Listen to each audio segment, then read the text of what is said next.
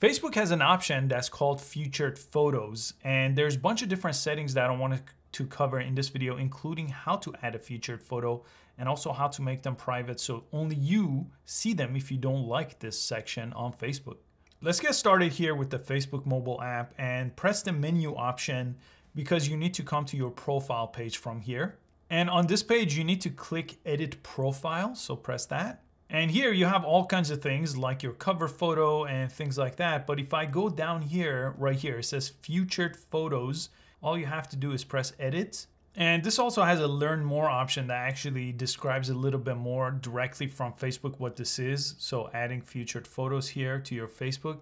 So I'm gonna go ahead and I'm gonna preview the one I already have and it's gonna show it over here.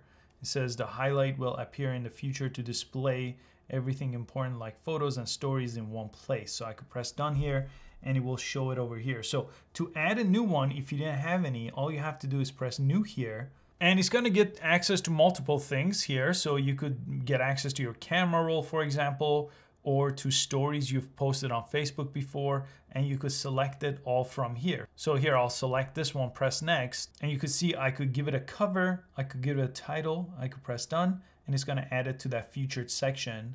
Okay, so now I have two different photos. Now to make it private, I just have to press edit, select it, and then edit to remove it right here. So deleting it basically. And then it's gonna go back to its default mode here where it says try it now. And that's how you use the featured photos section on Facebook for adding or removing featured photos. I hope you found this useful. Please give it a thumbs up and I'll see you next time.